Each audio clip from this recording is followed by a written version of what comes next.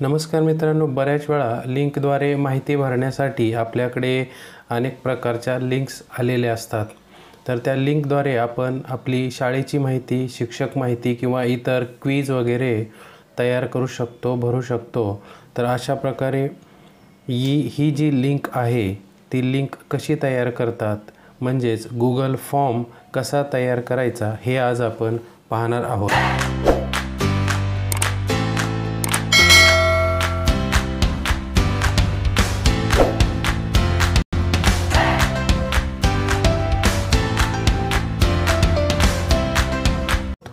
Google form तयार करण्यासाठी आपल्याला गुगलमध्ये जायचे किंवा क्रोम ओपन करायचं आहे.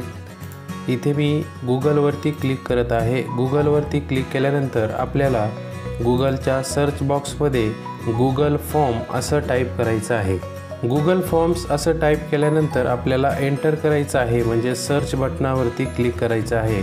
सर्च बटनावरती क्लिक केल्यानंतर विविध वेब्स वेबसाईट ज्या आहेत त्या ओपन होतील. त्यामध्ये आपल्याला खाली स्क्रॉल करून जिथे गुगल फॉर्म्सची वेबसाईट आहे त्यावरती आपल्याला क्लिक करायचं आहे. इथे आपल्याला गुगल फॉर्म्स या वेबसाईटवरती क्लिक करायचं आहे.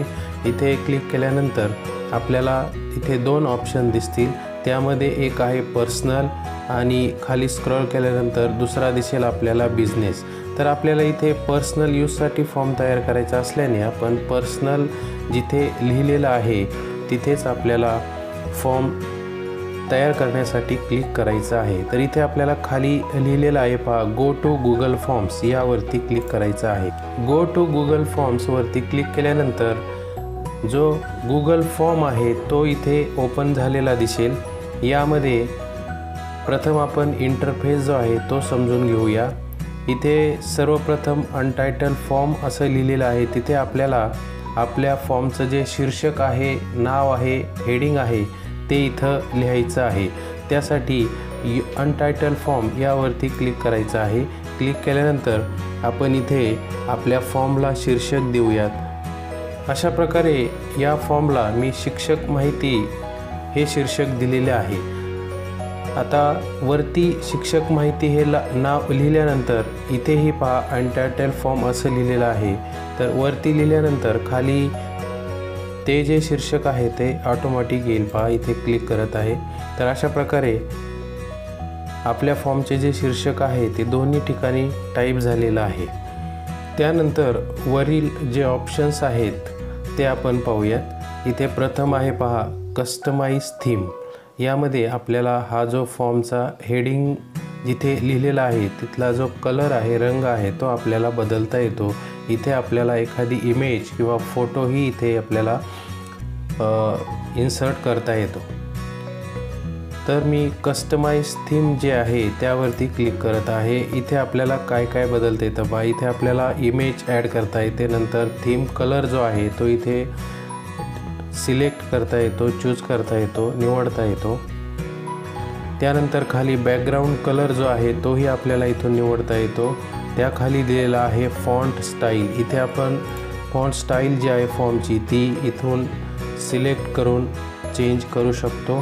तर अशा प्रकारे आपण प्रथम इमेज ॲड करून पाहूयात. इमेज ॲड करण्यासाठी आपल्याला पहिला जो ऑप्शन आहे चूज अँड इमेज यावरती क्लिक करायचं आहे. यावरती क्लिक केल्यानंतर डावीकडे विविध पर्याय जे दिलेले आहेत जे विविध प्रकार दिलेले आहेत त्या प्रकारामधून आपण विविध इमेजेस जे आहेत त्यापैकी एखादी इमेज निवडून इथे हेडरमध्ये आपण इन्सर्ट करू शकतो.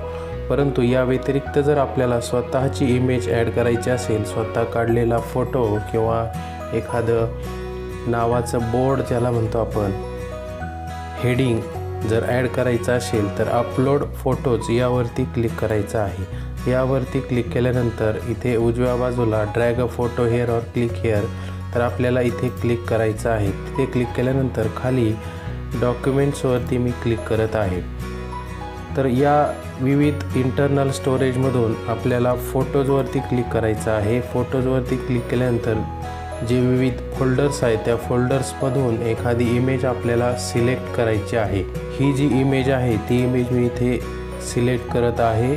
अपलोडिंग झाल्यानंतर आपल्याला त्या इमेजचा जो स्पेसिफिक भाग आहे ठराविक तोच इथे सिलेक्ट करायचा आहे. इथे आपण ड्रॅग करून सिलेक्ट करू शकतो. मी इथे हेड हेडिंग जे आहे ते सिलेक्ट केलेलं आहे. ते सिलेक्ट केल्यानंतर सिलेक्ट या बटनावरती आपल्याला क्लिक करायचं आहे. त्या बटनावरती क्लिक केल्यानंतर इथे आपण निवडलेलं जे जे हेडिंग आहे ते हेडिंग इथे इन्सर्ट होईल. त्यानंतर आपण थीम कलर जो आहे तो इथून निवडू शकतो. तर यामध्ये मी हा कलर जो आहे तो सिलेक्ट करत आहे. त्यानंतर बॅक बॅकग्राऊंड कलरही आपण इथून चेंज करू शकतो. फॉन्ट स्टाईल आपण इथून सिलेक्ट करू शकतो. हे सर्व सिलेक्ट केल्यानंतर आपल्याला ॲप्लायवरती क्लिक करायचं आहे. ॲप्लायवरती क्लिक केल्यानंतर इथे पहा जे हेडिंग आहे ते हेडिंग आपल्याला वरती इन्सर्ट झालेलं दिसत आहे.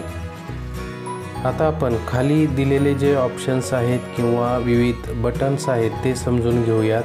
पहिलं जे आहे इथे पहा प्लससारखं दिसत आहे. त्यावरती क्लिक केल्यानंतर आपल्याला इथे नवीन प्रश्न जो आहे तो प्रश्न ॲड करता येतो. म्हणजे इथे पहा आपण शिक्षकाचे नाव हा पहिला प्रश्न ऑलरेडी ॲड केलेला आहे. दुसरा प्रश्न ॲड करण्यासाठी प्रथम आपल्याला या प्लस बटनावरती क्लिक करावं लागेल. त्यानंतरच दुसरा प्रश्न आपल्याला इथे लिहिता येईल. इथे पहा इथे आपल्याला दुसरा प्रश्न लिहायचा आहे. तर अशा प्रकारे या प्लस बटनावरती क्लिक करून आपण पुढील प्रश्न ॲड करू शकतो.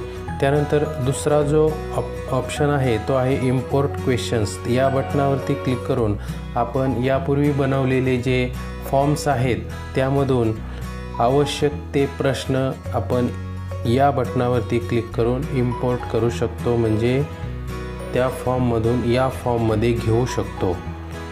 त्यानंतर तिसरं जे बटन आहे ते आहे ॲड टायटल अँड डिस्क्रिप्शन विविध प्रश्न असतील आणि त्यामध्ये वेगवेगळे कप्पे असतील किंवा वेगवेगळे भाग असतील तर त्या प्रत्येक भागाला आपण इथून टायटल देऊ शकतो.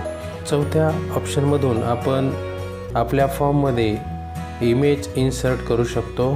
त्यानंतर पाचव्या ऑप्शनमधून आपण एखादा व्हिडिओ जो आपल्या यूट्यूबवरती ॲड केलेला असेल तिथून आपण त्याची लिंक देऊन इथे व्हिडिओ ॲड करू शकतो.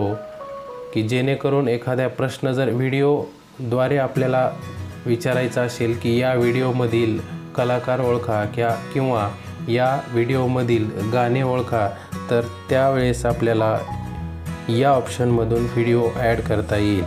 त्यानंतर पुढील जो ऑप्शन आहे तो आहे ॲड सेक्शन यावर क्लिक करून आपण आपल्या फॉर्ममध्ये विविध भाग करू शकतो. विविध विभाग करू शकतो. त्यालाच सेक्शन असं म्हटलं जातं तर इथून आपण सेक्शन बनवू शकतो. इथे पा शिक्षकाचे नाव हा पहिला प्रश्न आपण ॲड केलेला होता. त्याखाली जो उत्तराचे जे स्वरूप आहे ते आहे शॉर्ट आन्सर म्हणजे थोडक्यात उत्तर लिहायचं आहे काही शब्दामध्ये. त्यामुळे हा पर्याय निवडलेला आहे. परंतु इथे अनेक पर्याय आपल्याला दिसतील. त्यामध्ये short answer paragraph multiple choice वगैरे. हे जे पर्याय आहेत ते पर्याय आपण पुढील भागामध्ये पाहणार आहोत. तर अशा प्रकारे आज आपण गुगल फॉर्मचा जो इंटरफेस आहे चेहरा मोहरा जो आहे तो आपण आज पाहिलेला आहे. अशाच प्रकारे पुढील भागामध्ये गुगल फॉर्मविषयी डिटेल्स माहिती आपण पाहणार आहोत. पुढील भाग पाहायला विसरू नका. धन्यवाद.